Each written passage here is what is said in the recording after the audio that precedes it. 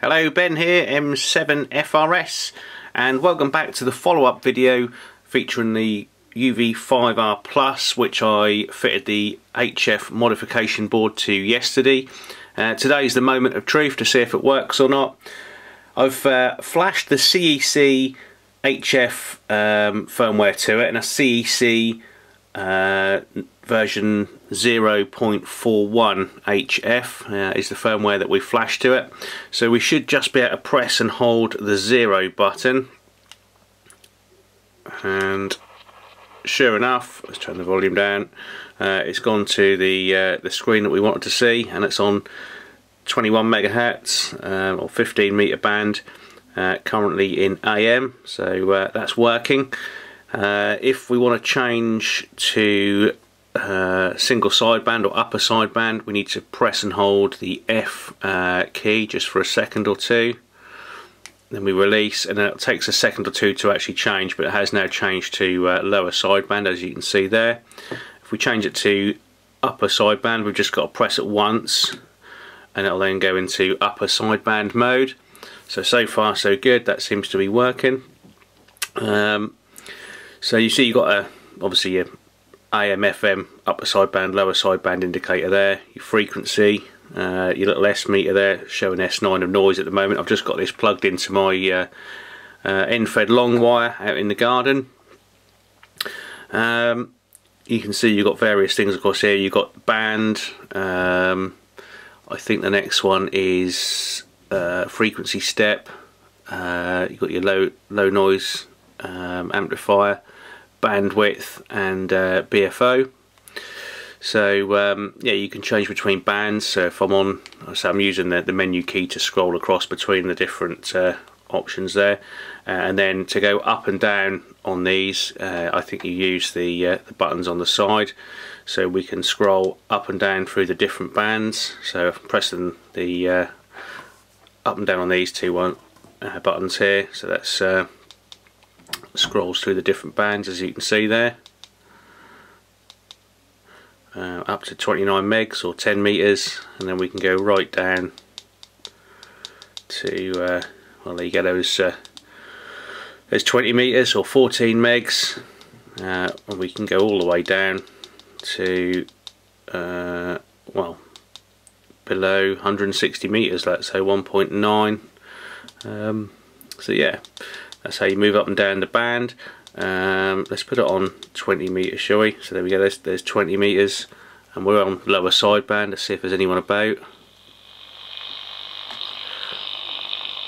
Um, we can use the up and down arrows here to uh, scroll up and down the frequency and we just need to move the cursor across. So I think the scan button yeah the scan button moves the uh, the cursor across there so some of the fall there we go so we can now go up and down on here. No we can't. Yes we can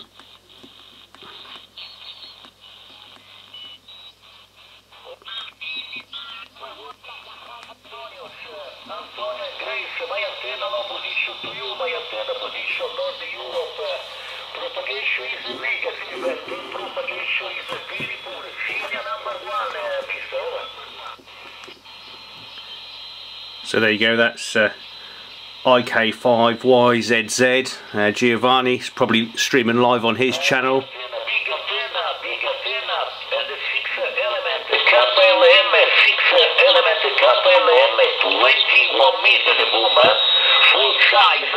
position the my tower 40 meter the my tower my antenna 25 dB gain okay there you go so I'll put a link to uh, to his channel down below. You'll bet he's always uh, streaming live when he's on uh, on HF but um, nice little uh, proof that uh, 20 meters is uh, is alive and working there. Um, like I say we can scroll across using the menu button. Um, let's say you change your band. We can change the frequency step. I did I know I used the scan button to change up and down but you can actually um, use the again up and down on the side buttons will uh, will change the step. At one moment we're on 1 kilohertz 10 kilohertz step 100 kilohertz or uh, uh, 1 megahertz jumps basically um, which is indicated just on the uh, just on the bottom of the screen there. Hopefully you can you can sort of see that. Um, there you go back to one kilohertz again. Uh, yeah so that's um, that's your steps. We'll press it again. Like I say it takes it to the uh, uh, LNA or low noise amplifier and then you can see you've got uh, zero attenuation on there. And again just using the up and down keys. Um, doesn't matter I think on these. If you press the down one it'll still keep going through the increments. Um, so do the same thing. You just have to scroll all the way through. So you can have the AGC on uh, or attenuation uh, and you can attenuate from 1, 5, 15, 26 uh, up to the AGC being on again there you go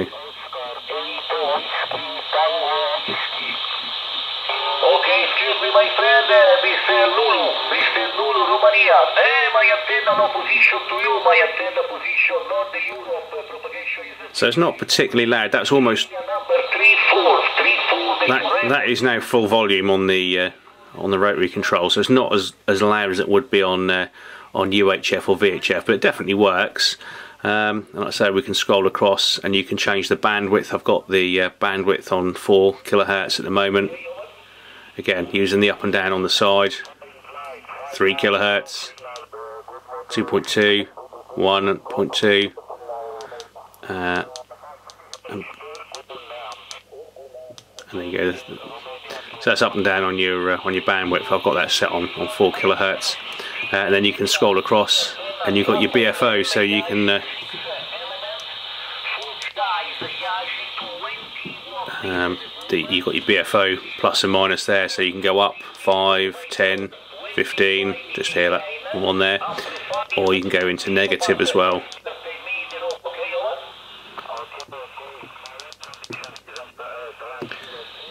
So um, yeah, that's all the uh, the settings on there. Um, what else can we do? You can press and hold the uh, zero button to change through the bands. Um, so it gives you one to seven, that which is 17 meters up to 10 meters. Press it again.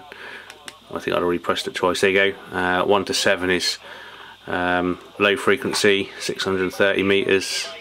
Uh, I don't know what A stands for, but uh, you've got that on there.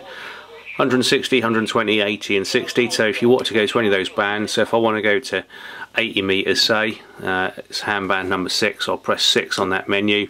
It'll take me straight to uh, to the 80 meter band. Again press the 0 button um, and then press it once more. Gives us the next lot. So if we want to go back to uh, 20 meters we'll press number 5 and uh, takes us back to uh, to where we were uh, if we want to go back to standard VHF UHF mode, um, you just press the exit button there, and you can see we're just back in the normal, let's say UHF and uh, VHF mode there. Um, we go into the menu, so as normal, press the menu button. Um, you've got this HF dual mode as well, so uh, at the moment it's switched off. If I turn HF dual mode on, and then press menu, and then we exit that and we then go back to um, press and hold the zero. Uh, then we go to it's not giving us a band for some strange reason. Why is that? Let's uh, press zero again. Let's select uh, 20 meters. That was number five I don't know why it's done that, it's doing something a bit strange this time, but um, this did work the first time I tried it, and then typically when I try and do a video it's, uh, it's playing up, but um, let's uh, switch it off and on again, and see uh, if we can uh, figure out why it's uh, glitched or it's done something strange there. Right, press and hold the zero,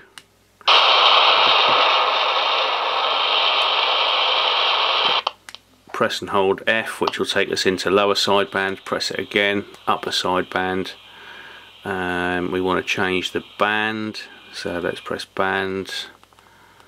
Uh, we can scroll down the bands as well if we want, no we can't. Uh, it's the other button isn't it? Uh, it is this one. That will scroll down the bands. There we go. And then let's exit that. Ah, there we go. So now um, the dual mode is on, so obviously doesn't like it if you don't switch it off and on again first after we put it into dual mode. But um, as you can hear, it's still receiving on. Still receiving on 20 meters, but it actually works in full dual VFO mode. I've realised. So I'll put the other uh, other Quansheng on. And um, see we've both got two of these on on uh, on the same frequency. So I'll go in the other room and I'll uh, give a call and you should be able to hear me over the top of John. So it should be able to listen uh, to both frequencies at the same time. So we'll give that a go. Mike 7 Foxtrot Romeo Sierra M7 FRS test only. Live streaming professional in YouTube name of my channel Italy Kilo 5 Yankee Zulu okay over there you go so it does work in full uh, dual frequency mode so it can listen on HF and it can listen on either U uh, VHF and uh, UHF at the same time uh, which it never really did properly with the two VFOs I don't think you could get full um, dual mode operation but uh, with this mod it seems to support that as well especially well with the, with the HF side anyway. Um, so we can we can turn that off if I press the menu uh, and then scroll down to uh, menu 2 and then we'll go to off and then uh, exit and then we probably have to switch it off and on again to clear it I think. That seems to be the way. So um, once you've turned that feature on and off um, switch it back on again. There we go. So it's just gone back to normal um, normal VHF and UHF mode. Uh, so like I say every single time you do have to press the uh, the zero button and it will always come on in AM as well. So um, like I say every time you've switched it off it will come on in AM and we just need to press and hold the uh, the F key. Takes a few seconds to do it like I said. Puts you in lower sideband. Press it again. Gives you the uh, the upper sideband.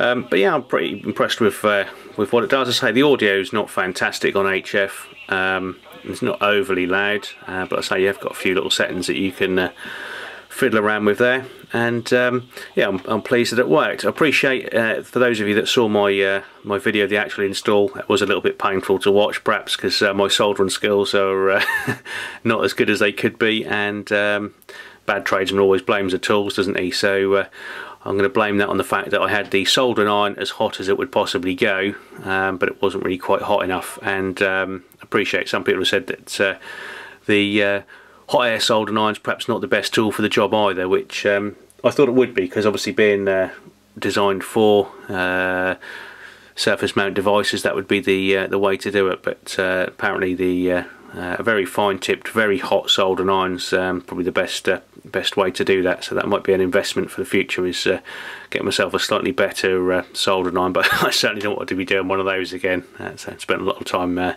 doing that yesterday. Um, something else I've noticed on this was the um, you, will notice the display's gone out. Whenever I do my videos I like to have the uh, display on all the time. Now if I exit that mode uh, and then we'll go back to the display. Again the menu's pretty much the same as you'd expect on uh, on these. You can they're fairly easy to navigate. If you've got this far that you're playing with um, hardware modifications you've probably hopefully sorted out uh, or you've sussed out the uh, the menus. Uh, but yeah I'd set, set the menu to stay on for four minutes. Um, or I can quite often I'll just leave them so if I'm doing a video just on all the time which it seems to do uh, if I leave it in uh, VHF UHF mode but as soon as I put it into the um, uh, the HF mode and then we and then we don't touch anything just switched it off and on again. But uh, yeah if I put it in in HF mode uh, and don't touch anything um, these that will go out which is a little bit of a niggle but other than that everything seems to work uh, uh as it should. Uh, I have to admit that uh, this didn't work straight away the first time I tried it after uh, doing the mod. I switched it on, it worked as it should in, in the normal mode, uh, but pressing and holding the zero button didn't quite, uh, or didn't do anything. So uh, quickly whipped it apart again.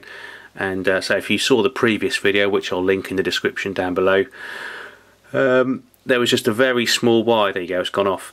Uh, there's just a very small link wire between the resistor and the original um, PCB, which had uh, not quite made a, a, full connection, so just a slight touch with a soldering iron seemed to cure that. So we uh, put it back together again, and um, yeah it uh, seems to be working so that's I'm pleased I've uh, got it working even if it was a painful experience getting to that point but if you're uh, if you think they're doing one good luck and I say try and avoid some of my mistakes if you like and uh, let us know in the comments how you got on. I'll put a few links in the description down below to uh, firmware and that kind of thing but uh, hopefully you've enjoyed this video and I wish you best 7-3 and we'll catch you in the next one.